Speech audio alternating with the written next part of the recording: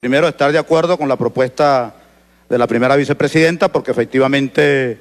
la impunidad que estamos eh, transitando no debe continuar. Y quienes piden intervención y agresión contra nuestro país eh, deben estar en la cárcel. Pues. Es lo mínimo que. Entonces, acompañamos esa propuesta de la primera vicepresidenta Iris Varela y también consideramos que es importante el tema que ya se incluyó de revisar el reglamento interior y de debate. Pero consideramos que no debiera ser nada más en el tema de las comisiones, porque incluso en lo referente a la discusión de la elección de la Junta Directiva, se establecen tres derechos de palabra que no permiten que de verdad haya un debate abierto y se puedan expresar opiniones más allá de quienes propone, está en contra y quien defiende. Pensamos que ese punto debiera también revisarse en aras de la participación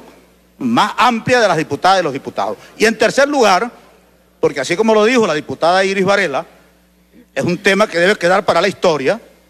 de esta y para los anales de esta Asamblea Nacional. Todas las intervenciones han señalado la situación de los trabajadores y las trabajadoras venezolanas.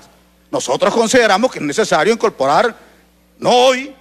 pero sí en la sesión que viene o en la próxima, una discusión sobre el tema de la recuperación del salario y las prestaciones sociales de los trabajadores y las trabajadoras venezolanas, que hoy están en unas condiciones tanto por la crisis general del modo de producción capitalista dependiente y rentista venezolano y por la agresión, obviamente, del imperialismo estadounidense y europeo, pero nosotros también consideramos que por parte de las políticas que se vienen aplicando desde el Ejecutivo Nacional. Entonces, lo concreto es proponerle a la Junta Directiva, aquí en esta plenaria, no que se vote en la plenaria, que considere incorporar en el orden del día de una próxima sesión el tema de las condiciones de trabajo de las trabajadoras y los trabajadores venezolanos, la recuperación del salario, de sus prestaciones sociales y de sus condiciones de vida para poder sobrevivir y actuar como trabajadores y trabajadoras, porque el trabajo